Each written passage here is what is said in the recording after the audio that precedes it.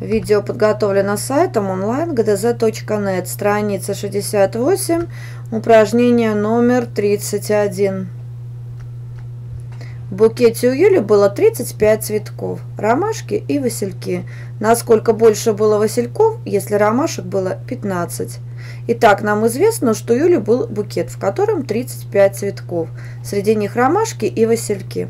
Нам нужно узнать, насколько больше было васильков, если ромашек было 15.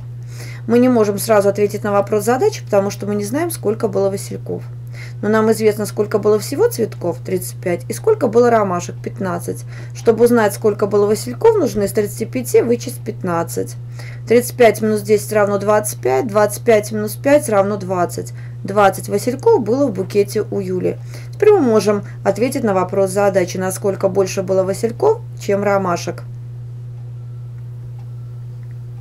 Васильков было 20, а ромашек 15. Чтобы узнать, на сколько нужно из большего числа вычесть меньшее. То есть нужно из 20 вычесть 15. 20 минус 10 равно 10. 10 минус 5 равно 5. На 5 васильков было больше, чем ромашек.